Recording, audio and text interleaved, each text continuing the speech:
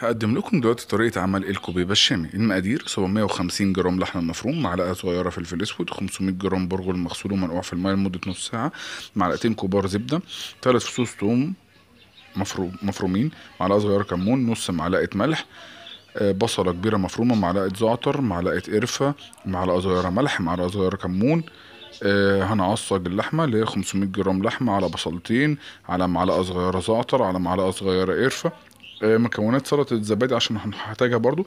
ثلاث كوبايات زبادي حبتين خيار متوسطين حبة جزر مبشورة نص معلقة صغيرة فلفل أسود ملح حسب الرغبة نص معلقة صغيرة كمون معلقة كبيرة زيت زيتون معلقة كبيرة خل.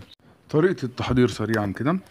هنجيب الطبقة الخارجية اللي هي باستخدام الكبة أو المفرمة. هنفرم اللحمة المفرومة مع البرغل والبصل والثوم والبهارات لغاية أما نكون آه عجين ناعم ومتجانس. طريقة تحضير العصاج هنجيب مقلاة مقلاية كبيرة كده هنحط فيها الزبدة هنضع بيها البصل المفروم مع التقليب لمدة دقيقة هنحط اللحم المفروم للبصل هنقلب كويس هنضيف التوابل هنسيبه على نار متوسطة لغاية أما يستوي.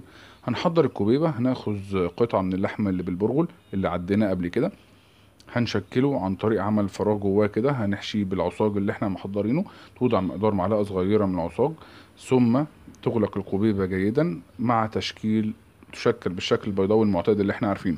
هنحط الكوباية في التلاجة لمدة نص ساعة لغاية أما تتماسك. هنقليها في زيت غزير. هنرفعها من على النار ونحطها على المنشفة الورقية. بعد كده نحط الزبادي في إناء التقديم مباشرة. هنضيف عليه الجزر والخيار المبشور مع التقليب. هنضيف التوابل والزيت والخل للزبادي. ونقلب المكونات وتزين بقليل من الخيار المبشور وتقدم مع الكوبيبه وباحلى هنا وشفا ليكم. شكرا.